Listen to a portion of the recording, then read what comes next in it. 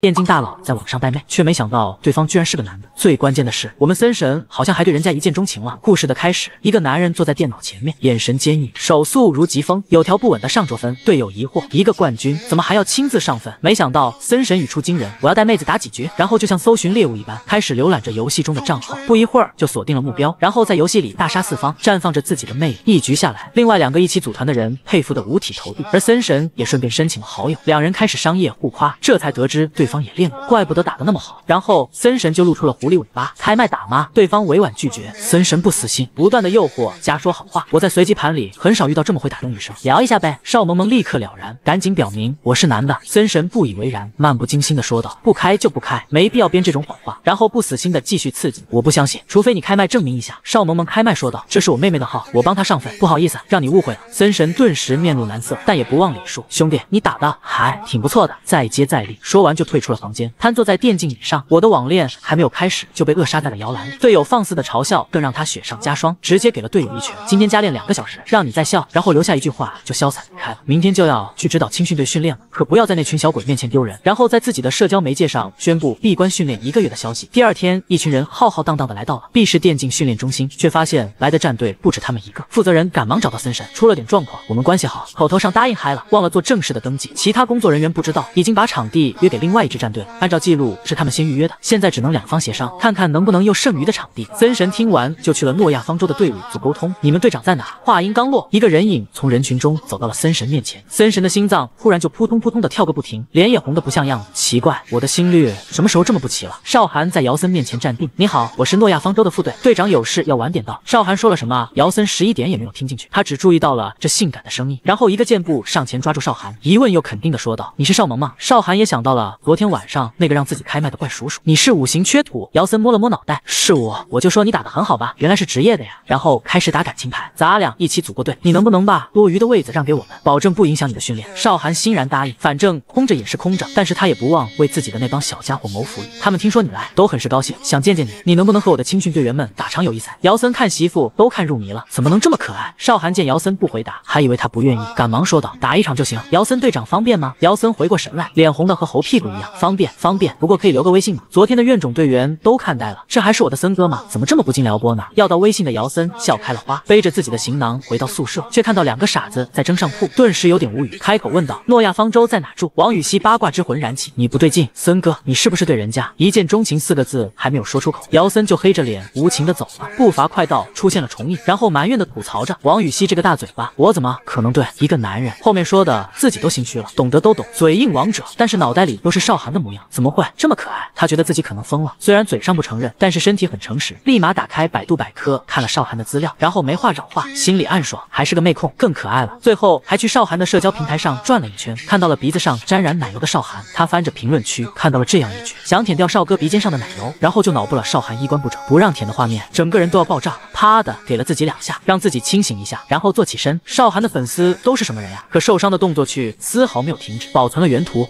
这个男人对着老婆的照片流口水，差点被队友抓包。就在姚森保存媳妇的美照时，王禹锡不知道什么时候出现在了背后。森神在看什么呢？做坏事的姚森耳听八方，在王禹锡出生的时候就已经关了电脑。王禹锡有点不服气，告诉姚森，白月叫他去打友谊赛，然后一脸坏笑的看着电脑。这大白天的这么神秘，不会是在在？然后停止遐想，赶忙跟上姚森的步伐，来到训练室。姚森骚包的准备打招呼，却没想到被人截胡。来人搂住邵涵，亲密的叫他邵小左。邵涵亲近队友对他的爱称，姚森立刻不爽了，他俩居然认识。最关键的是少。寒居然直接叫白月，少寒青训时的队伍的名字，而对自己却是喊姚森队长。姚森立马纠正，姚森喊我名字就好，叫队长多见外啊。然后侵略性极强的看着猎物，是吧？少寒，少寒有点不懂了，但也尊重。也行啊，姚森听见自己的名字从老婆嘴里说出来，姚森心里高兴坏了。可有一个破坏心情的家伙跳出来了。白月搂着少寒，姚森你别欺负少寒啊，他脾气好，你别吓唬他。姚森立马不爽了，轻蔑的看着白月，你们俩很熟吗？白月丝毫没有察觉到杀意，得意的说道，那当然，我俩当。青训生的时候还是室友呢。听完这话，姚森无话可说，但是想刀一个人的眼神是藏不住的。然后压住怒火，向少涵介绍了另外两个队员宋明哲和王雨熙。少涵和他们打着招呼，后面的那群小崽子可兴奋了，因为他们都是 Titans 的粉丝。王雨熙有点酸，恐怕都是森神的粉丝吧。看着自己这群迷妹一般的队员。叹了一口气，还希望森神友谊赛能够对我的小队员们手下留情。媳妇开口，一切好办。姚森立马答应。比赛开始，这些小粉丝们被打得落花流水，甚至都没有发现敌人在哪就没了。少寒看自己的小崽子们士气大减，就去劝说姚森，想让他不要太狠，却没想到姚森已经很放水了，一边打游戏一边还听着歌呢。于是，一脸委屈，我已经让了，可你家孩子打不中我呀。王禹锡对自家森神一脸无奈，真是够凡尔赛的。但是姚森可不是这么损的，虽然自己没有让那帮小崽子打着自己，但他帮小崽子们做了复盘，他们满意极了，即陪练还帮忙复盘，森神简直太好了。王禹锡黑眼圈都掉到地上了，吐槽道：自己队里的练习都没有这么好的耐心，你还真是转性了呀，森神。姚森正在闭目养神，让王禹锡闭嘴，可这家伙越说越带劲，跑到姚森面前说他今天就像是在女生面前疯狂表现自己的小学生。姚森听完，唰的一下站起来，背起自己的书包就要回寝室，吓得王禹锡赶忙收拾自己的书包追了上去。下楼之后就看到少涵在自助机那买水，姚森有点得意，我就知道他还在，然后走上前去询问，小队员都送回去了。少涵应了一声，然后拿出饮料递给姚森，谢谢你陪我们这么晚，这是慰问品。姚森表面风平浪静的接过，心里早就乐开了花。慰问品就我有，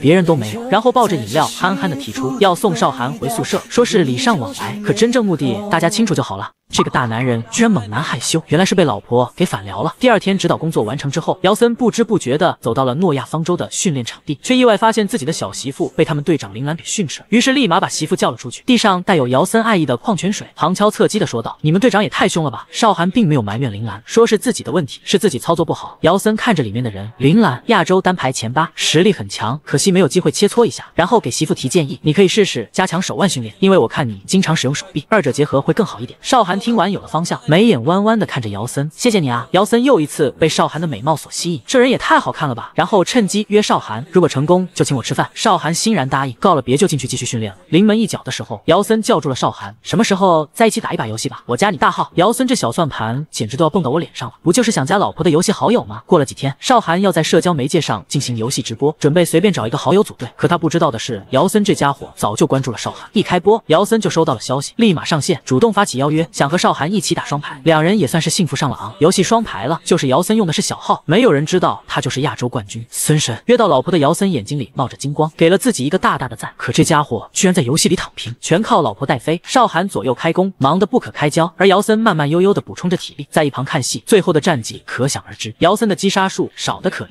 可以说是没有。众人非常不满，都说姚森技术不行。于是姚森故意在游戏里发消息问少寒：“我和 Titans 的队长谁玩的更好？”少寒扶额苦笑，不得已的回答着：“论技术，当然是姚森队长，但是你也不错。”听到这话的姚森立马下线，拿出自己的手机发文：“听说诺亚副队长在直播里夸了我。”众人纷纷嗅到了不一样的八卦之味。第二天夜跑回来的姚森在宿舍楼遇到了少寒，跑过去打着招呼。少寒说自己的手腕训练很有效果，随后问起了昨天双排的事情。姚森云淡风轻：“我看你在直播，就想去凑下热闹。”少寒听罢就没有再过多的问。看着满头大汗的姚森：“你喜欢夜跑吗？”姚森摸着自己的脑袋，也不是喜欢，就是老是失眠，跑一下会更容易入睡。少寒有点不解：“失眠是一直都有这样的毛病吗？”姚森耸了耸肩：“隔三差五吧，习惯了。但是之前看了你的直播，睡得还挺快的。”少寒有点不好意思：“难道我的直播很无聊，催眠吗？”姚森嘴角一勾：“那倒也不是，是你的声音很好听，让我很安心。”然后凑近媳妇：“我猜我今天会睡得很好，因为睡前和你说话了。就是说两人的这个距离不能亲一口吗？我好急啊！”案头小分队集合，没等少寒回复，姚森就留下一个帅气的背影走了。少寒默默感叹：“情场老手呀！”回到宿舍的姚森心情好极了，王禹锡都看不下去了，心情这么好，夜跑遇上美女了。姚森满脸嫌弃，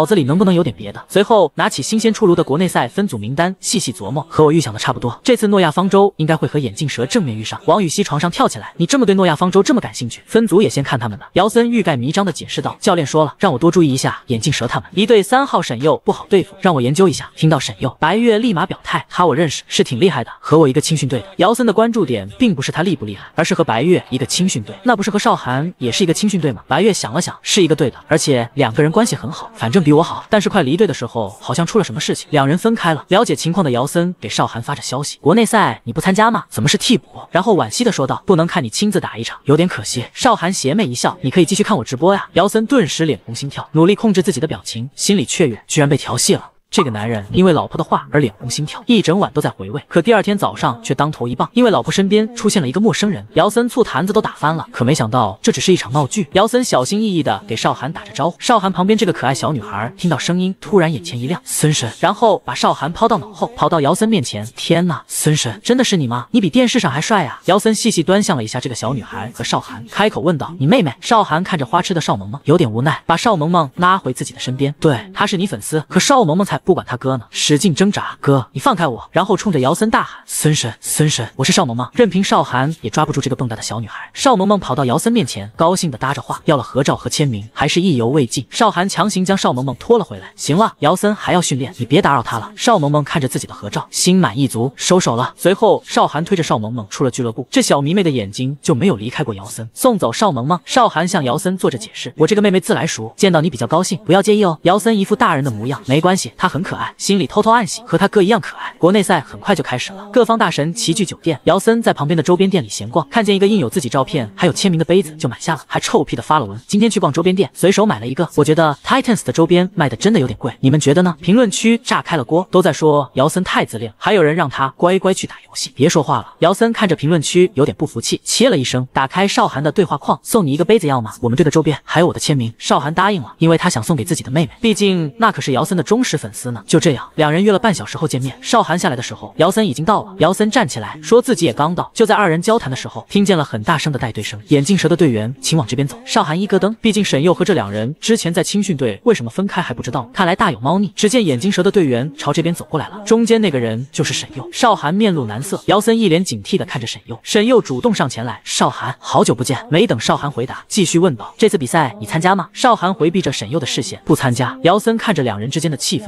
小小的脑袋里出现了大大的问号。沈佑低下头感叹：太可惜了，那就 WCAD 赛场上见吧。说完就离开了。姚森装傻，上前问少涵：你们认识吗？少涵嗯了一声，但是情绪不高。姚森有点担忧：你怎么了？少涵调整了情绪，没事，谢谢你的杯子，明天还有开幕式，今天早点休息吧。姚森见状没有继续追问，回到宿舍问王雨熙和白月：人在什么情况下看见另一个人会露出尴尬和躲闪的表情？白月摁住王雨熙，让他闭麦，自己道出真理。法治社会最有可能露出这种表情的时候，就是遇到前任了。姚森愣愣住了，前任真的是前任吗？明明是一个用过的旧护腕，可这个男人却当快宝，原来是媳妇送的呀。第二天，国内赛拉开帷幕，姚森因为白月的一句前任，一晚上都没有睡着，黑眼圈重的就像个大熊猫似的。王雨熙八卦的说：“你们老大昨晚因为感情问题还睡不着觉呢。”姚森欲盖弥彰的拿出墨镜戴上，阻挡了队员八卦的目光。别听他胡说，昨晚看比赛太晚而已。下一秒，白月出声：“诺亚的人在我们面前啊！”姚森直接破功，脸红的不像样子，被身边的队员发现：“老大，你的脸怎么这么红呀？”姚森慌乱的扇着衣服，空调太弱，热的。然后转移话题，第一场比赛是哪两支队伍？白月打开手机，是眼镜蛇和深海幻想。第一场就是沈佑指挥，王宇希辣平，眼镜蛇这把铁赢。那个三号沈佑，一个辅助指挥的还挺好，真没看出来。白月让他不要小瞧沈佑，他在青训队的时候个人实力就很强。姚森听不下去了，唰的站起来，说自己有点事就走了，随后出现在了眼镜蛇队伍面前。这哪是有事？这明明就是想去找情敌聊聊。然后冲着沈佑说道：“你就是沈佑，方便单独聊两句吗？”听到这，眼镜蛇的其他成员就识相的先走了。沈佑看着姚森：“你是 Titans 的姚森队长吧？找我有什么事情吗？”却没想到姚森这家伙语出惊人，刚才指挥的不错。沈佑有点愣住了，谢谢，心里早就汗流浃背了。不过是和青训队打了一场而已，值得他特意来夸我。然后姚森就开始炫技：“你没接触过竞技版打法吧？”沈佑更慌了，一场比赛他就看出了我的路数。姚森的实力果然厉害，室友还好，要是为敌的话，可就大事不妙了。姚森继续问道：“方便问一下，你之前是在哪里训练的呢？”得到答案之后，继续问道：“那你认识白月马？”看着急转弯的架势，姚森想问的应该是你少涵吧？想到之前三人一起的日子，沈佑还是觉得很美好。就在沈佑回味时，姚森认真的观察着他，随后摆摆手：“我先回观战席了，改日赛场上见。”留下沈佑满脸疑惑，这人到底是来干嘛的呀？让我说，这姚森就是闲的不行，想来和沈佑过过招，了解一下沈佑，毕竟知己知彼，才能百战百胜嘛。中午吃饭的时候，沈佑主动找上了少涵，介意我坐在这吗？然而两人并没有交谈几句，少涵借口摇复盘就先回去了。这一幕纠缠，少涵的逃避，沈佑的留恋，都落入了姚森的眼眸。回到宿舍，王雨熙看着姚森，你不对劲，不和我们下馆子，非要去吃酒店餐厅。姚森直接忽视，走到白月面前询问少涵和沈佑的事情。可白月这一次说的和上次没有什么差别，看来白月确实不知道少涵和沈佑之间发生了什么。王雨熙盘腿坐在床上，老大，你怎么老对诺亚的副队长这么感兴趣啊？有什么企图？如实招来。白月打断不着调的王雨熙，别闹了，还不如想想明天的比赛呢。你们猜猜，我们和蓝色幻想的比分会是多少？姚森开始幻想，蓝色幻想他们就是给小队员练个手。我们胜出后没有意外的话，就会对上诺亚方舟。很快，Titans 就和诺亚方舟对上了。林兰丝毫不慌的指挥着诺。亚方舟，就连姚森也不由得感叹：林兰不愧是老牌选手，指挥经验可比我丰富多了。然后就想到了自己的媳妇，有点可惜，这次没有机会看到少涵打比赛了。接下来就是诺亚对上眼镜蛇了，国内赛的冠军就是这两个了。到时候要去现场吗？王雨熙说什么？姚森一句也没有听进去，因为他看到了自家老婆正在买水喝，挥了挥手：“我去买瓶水，你们先回房间吧。”王雨熙无语：“房间里是没有你喝的水吗？”两人打过招呼，姚森夸赞媳妇：“你们今天打得不错。”然后看向少涵的护腕，这护腕还挺好看的，周边店里能买吗？赵涵大方摘下：“你要是喜欢的话，我送你，反正经理那有很多。”随后又想到送自己戴过的会不会不太好呀，就只能抱歉的说道：“我回去再给你拿一个新的吧。”让人没想到的是，姚森丝毫不嫌弃，接过护腕：“谢谢了，我就要这个。”捏在手里爱不释手，迫不及待的就戴上了。新的太紧了，你这个就刚好。今晚又是一个不眠夜，老婆送了自己一个礼物，怎么能不激动呢？和少涵告完别之后，姚森带着老婆的礼物回到宿舍，爱不释手，然后打开老婆的直播，戴上耳机，伴随老婆的声音，安然入睡了。国内赛的最后一场来到了诺亚方舟和眼镜蛇的对决，少涵他们的诺亚方舟暂时落后，林兰指挥有序，很快就开始追比分了。但是沈佑带领的眼镜蛇防守也很强，想要反超还是有点难度的。姚森给出最后的结论，眼镜蛇应该会赢，因为他们一开始走的就是团队路线，稳扎稳打。沈佑掌握着核心操作，很专业，也很流畅。诺亚。想追分有点难，王雨希有点可惜，这个沈优不容小觑啊！要是少涵参赛的话就好了。诺亚得分最强的就是他了。姚森看着观战席的少涵，摸着自己的护腕，低难道总会有机会的，总会有机会看他打一场比赛的。国内赛暂告一个段落，但是姚森带着诺亚方舟的护腕引起了广大网友的关注，网上都在说姚森没有当队长的自觉，Titans 养着他，他却带着其他队的周边，低下有支持的，有反对的。孙维和其他人吵得不可开交，姚森感叹了一句：“人红是非多”，就开始发文了。这个护腕是少涵送给我，下午一直带着。没有取，还有是 Titans 养着我，我永远是 Titans 的一员。大家不要为了这种小事伤了和气。姚森发完之后，查看着网上的风波走向，觉得差不多了。突然，少涵也出来解释了，那个护腕是我送给姚森队长的。集训的时候，姚森队长给诺亚提供了许多帮助，请大家不要误会姚森队长了。本来没什么的一件小事，可媳妇却亲自出来帮姚森解释了，顿时更爱了，怎么办呀？然后身体力行，咔嚓一下截了个图，值得纪念，收藏下。王雨熙精准吐槽：姚森，你知不知道你现在的表情很恶心？姚森骄傲的坐了起来，单身狗闭嘴。国内赛结束，Titans 回到了自家的俱乐部。一游，王雨希趴在上面痛哭流涕，终于回来了，还是自家场地亲切。姚森摆摆手，先离开了，说是有事，然后走到了一游的另一座大厦，发现又队伍要搬走，上前询问才得知，因为他们战绩平平，一游不再投资他们的比赛了。不得不说，电竞还是很难得，多少人有着热爱，却又有多少人能够走到大众面前的。他们决定去租一个便宜的场地，但无论如何是不会放弃的。那作者就祝下一次见面的你们会是在赛场上。然后对方感叹了一下，一游还是很抢手的。听说我们搬走，马上就会有新的队伍搬进来。好像还是诺亚方舟。听到这个，姚森激动极了。诺亚方舟，这下就可以和少涵一起练习了。一个月后，少涵坐在去易游的车上发着呆，没想到真的有机会入住易游。突然手机响了一下，是姚森发来的消息：“你什么时候到易游？”少涵回复着：“马上就到了，已经看到大厦了。”然后扶着自己的脑袋，也不知道姚森的消息怎么会这么快，很快就到目的地了。少涵下车后看到的就是帅气的姚森，他亲自等在这里，还借口说是刚好看见他们的车了，就等了一下。随后接过少涵的行李，都不让人家先回去收拾，非要带少涵逛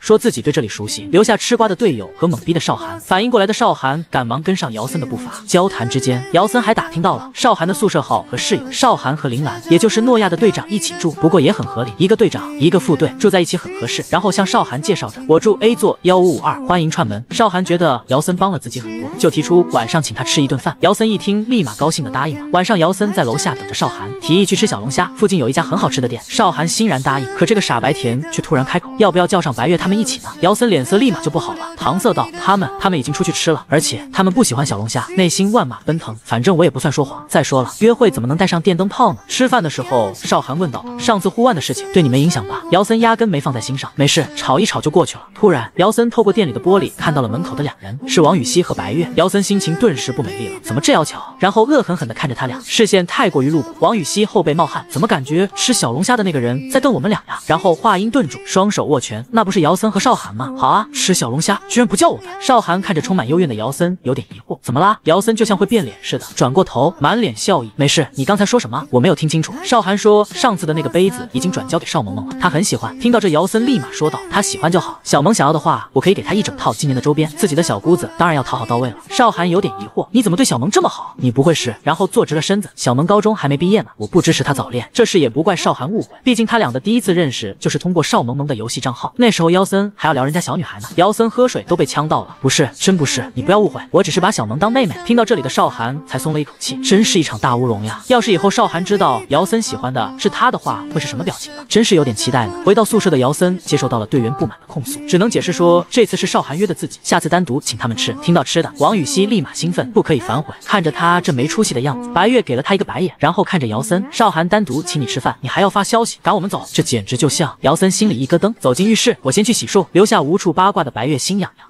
这个男人还是很有吸引力的，老婆对他开始慢慢有好感了。吃完小龙虾，回到宿舍洗漱完毕的少涵，看见自己床上有易游的内刊，里面有易游资助过的队伍获奖的情形。少涵默默发誓，过不了多久，这里面也会有诺亚方舟。突然，他看到了站在舞台上闪闪发光的姚森，拿着奖杯，手捧鲜花的他，在舞台上格外的吸引人。少涵自己都没有察觉的笑了一下，他真的很热爱电竞赛场，然后轻抚着照片上的人物。本以为他会是个难接触的人，没想到虽然骄傲，但还是很热心的，而且有一种莫名的感染力。第二天，少涵开始训练了，坐下还感慨了一。下，一游的环境果然比之前的要好。打开游戏之后，却发现自己的耳机好像没有声音了。拿下来研究了好一会，确实是坏了。想着明天去电竞城买一个，可是今天的训练就要被耽误了。随后拿出手机给姚森发消息，询问他有没有空闲的耳机。自己的队友也没有备用的。发完之后，感觉自己有点唐突，正在纠结要不要算了的时候，姚森回了他，让他去自己的寝室拿，环抱了自己的宿舍号。少涵很快就找上门了。姚森花枝招展的打开门，欢迎着他，邀请他进来坐一坐。房间里的其他几个人正在分析战术，分析着分析着就开始骂街了。姚森有点无语。别管他们，你先进来吧，我给你拿耳机。少涵仔细的打量着他们的宿舍，姚森干净整洁的画面和其他人格格不入。少涵由衷的感叹：“你的床好干净呀。”王雨熙一副看热闹的模样：“乱着呢，听说你要来踩。”后面的话被姚森打断。姚森使劲的给王雨熙使着眼色，王雨熙了然，震了起来。重说重说，咱老大生活紧致极了，每天都要边用冰岛的矿泉水泡澡，边喝八十二年的拉菲。姚森直接化身笑面虎，老王想被我拘就直说，不用拐弯抹角的。少涵笑了笑说道：“你们队友感情真好。”姚森借机报仇是吧？我带队友向来爱。兵如子，走，我给你看耳机。这可把王雨熙气得不轻。白月赶忙拉着王雨熙，不让他冲动。姚森把少涵带到了自己的耳机面前，让他随便挑。少涵吃了一大惊，这么多，然后拿了一个靠自己进的，就这个吧。我明天去电竞城买了新的，就还你。姚森笑嘻嘻的说道：“没事，不急。”心里暗暗暗爽。少涵用过的耳机，爱想想就高兴。WCAD 的赛事还有半年就要开始了，新赛制也出来了。教练和 Titans 的成员们一起研究着。姚森有点吃惊，两轮赛制改成了三轮赛制，多了一个小组赛，居然还要用要用瑞士轮赛制，也就是循环制和淘汰制的。折中赛制通常不会淘汰选手，因此赛程相对淘汰制较长。以为队友发言，这对我们很不利啊！我们一向都是一次性实力压制的风格，打持久战的话，排名就有点悬了。教练一个霸气起身，这次你们的最低目标是第五名，要是前五都没进，我把你们四个从一游顶楼一脚踢下去，摔死了算我的。王雨熙讪讪的笑了一下，勾哥别呀，还有大半年呢，我们的目标怎么都得是冠亚季军吧？然后扶着姚森的肩膀，是吧，森总？姚森双手环抱，只要你不浪，我们就稳。王雨熙直接服了这个老六了，这个嘴就不能让他说话。白月冷静的分析着，国内队伍在。在 WCAD 拿到的最好名次是眼镜蛇的亚军，那时候还是亚洲最强陈凯之没退役的时候。我们想拿一个名次真的不容易。勾教练摸摸下巴，就是要白月这种明白人给你们多泼冷水。王雨熙不服，怕什么？姚森之前不是还被叫小凯撒吗？姚森的头号粉丝出来喊话，咋队长可比凯撒强？勾教练不禁反驳，别瞎说，我和他打过，他真的很厉害，但是姚森肯定比他强，我敢肯定。王雨熙鸡皮疙瘩都起来了。勾哥，你突然这么肉麻，我还有点不习惯。勾教教练总结，半年的时间足以让你们变得强大，一定要加油。晚上夜跑的姚森。也在分析现在面临的局势。当年鼎盛时期的凯撒带领的眼镜蛇和 Titans 现在一样，取得了亚洲冠军，于是将目标放在了更加长远的 WCAD 的冠军上。决赛时败给了瑞士的奥丁队，这也是 Titans 这次最大的挑战。正在思考的姚森突然遇到了自己的媳妇，停下了脚步。你在等我？少涵抱着耳机，嗯，我来还耳机。没想到在楼下遇上了。姚森接过耳机，我都说不用了，送你都行。不过因为心里有事，就没有太热情。少涵见状凑近，你怎么了？发生什么事情了吗？你和平时好像不太一样。姚森想了想，你知道陆凯。之吗？少涵想了想，知道啊，五年前眼镜蛇一队的队长 o k 的亚军，游戏 ID 凯撒。这么了？姚森看着他，那你觉得我和他长得像吗？少涵觉得有点莫名其妙，但是还是很认真的观察着姚森。姚森被看得有点不好意思，摸了摸脖子，觉得像也没什么关系，反正有不少人都会这样觉得。少涵摇摇头，坚决的说道：“不像，你们不像。”姚森第一次听到说不像的，有点好奇，哪里不像？经常有人说我打法像他。少涵思考了一下，我也不了解凯撒，只是从比赛来。来看的话，他比你更走个人路线吧。而且游戏技巧都是通用的，打法相似很正常。然后安慰姚森，你也不用在意其他人说了什么，大部分人只是嫉妒一个年轻的强者，自然而然的会认为他在模仿谁。姚森愣住了，媳妇就是暖心，真的好会温暖别人呀。更心动了怎么办？姚森低下头，小声的呢喃着：“你交过女朋友吗？”少寒虽然不懂，但也还是老实交代：“没有。”心里不禁疑惑，这人的脑回路怎么回事？姚森欲盖弥彰的解释：“那你安慰人的技巧是怎么练出来的？”我好像被你说动了。少寒有点诧异：“不是技巧，实话实说而已。”姚森心里暗爽，老婆夸我了，而且他没有交过女朋友。哎，两人告别之后，姚森心情又不好了。没有女朋友，那男朋友呢？